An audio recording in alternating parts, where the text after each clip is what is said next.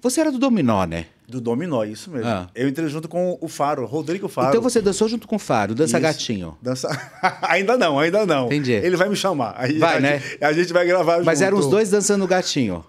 também, também. É, porque eram gatinhos na Era época. eu, Marcos Não que Marcelo. não sejam, até hoje. Mas na Obrigado. época vocês eram, eram bem mais jovens. Quantos anos vocês tinham? Eu tinha, eu acho que era 17, 18 aninhos. Novinho. 17, 18 anos. Isso mesmo. Uhum. Novinho mesmo.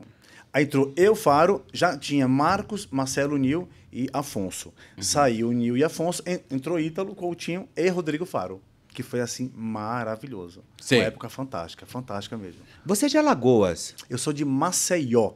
Alagoas. Alagoas. Não me confunde. Não, é isso. Alagoas é em Maceió. Mas olha, minha vida inteira eu vivi e, e- e vivo sempre Maceió e Salvador. Maceió, Salvador. Maceió, Salvador. A vida toda. Eu amo.